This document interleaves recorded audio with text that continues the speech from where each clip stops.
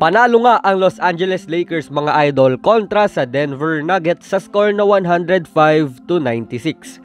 Nanguna sa Lakers mga idol si Anthony Davis with 25 points, 10 rebounds and 1 block.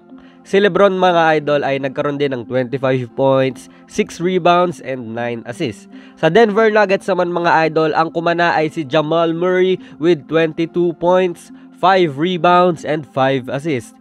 Ang laman ng video natin ngayon mga idol ay tungkol dito sa game na ito. So tara mga idol. What is up mga brody, idol, bulero, basketballista at fans ng NBA? Si Jonas pa rin to, Jonas PB back again with another video at bago ang lahat mga idol. Kung hindi ka pa nagsusubscribe, I would appreciate if you hit the subscribe button and notification bell para updated ka sa mga videos natin. At yun na nga mga idol, napaka-exciting nung naging laro nila dahil halos buong game naman mga idol. Lakers ang lamang pero may mga panakanakang habol ang Denver Nuggets in between quarters mga idol.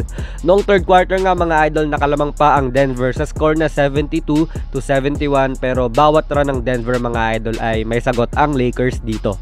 Ang isang nakatutuwang nangyari sa game na to mga idol ay nag-step up ang bench ng Lakers. Nagkaroon ng 42 bench points ang Lakers mga idol at dalawang players off the bench ang nakahit ng double digits. Ito nga mga idol ay si Rajon Rondo with 11 points 6 rebounds and 6 assists at si Dwight Howard na may 13 points, 6 rebounds at 2 blocks. Importante ang bench mga idol para hindi na masyadong magbuhat pa si LeBron James at Anthony Davis at syempre mga idol para may mga ibang threat pa sa court.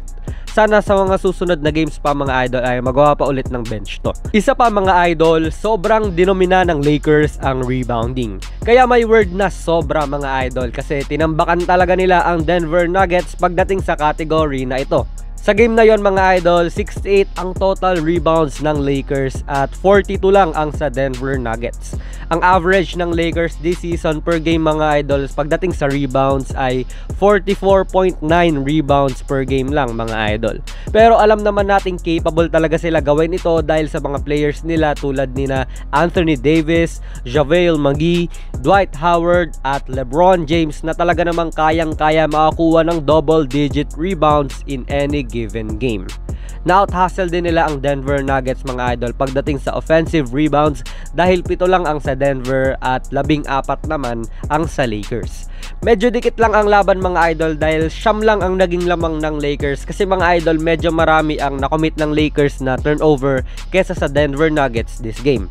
11 lang ang sa Nuggets, 16 naman ang sa Lakers. Pero na-contain naman nila si Nikola Jokic mga idol dahil nagkaroon lamang siya ng 13 points on 4 out of 12 shooting from the field. Di rin biro ang team na to mga idol dahil ito ang best defensive NBA team ngayon sa NBA. Second din sila sa Western Conference standings after nga ng Lakers natin mga idol. 18 and 3 na ang record natin mga idol at tied yan para sa best record in the NBA kasama nga ang Milwaukee Bucks. Bali, ito lang ang video natin ngayon mga idol. Sana nag-enjoy po kayo. Ang next game ng Lakers natin mga idol ay bukas na agad. Huwebes, December 5, 2019. Back-to-back -back games nga sila mga idol sa home court ng Utah Jazz. Medyo struggling ang team na to mga idol dahil 2 straight games na silang talo at 4 and 6 lang ang kanilang record sa kanilang huling 10 laro.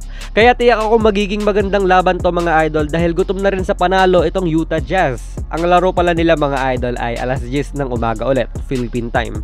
Let me hear your thoughts mga idol sa video natin na to. Ano pa ang mga napansin nyo sa laro nila kontra sa Denver Nuggets? Comment down below lang mga idol. Until then, ito lang ang video natin mga idol.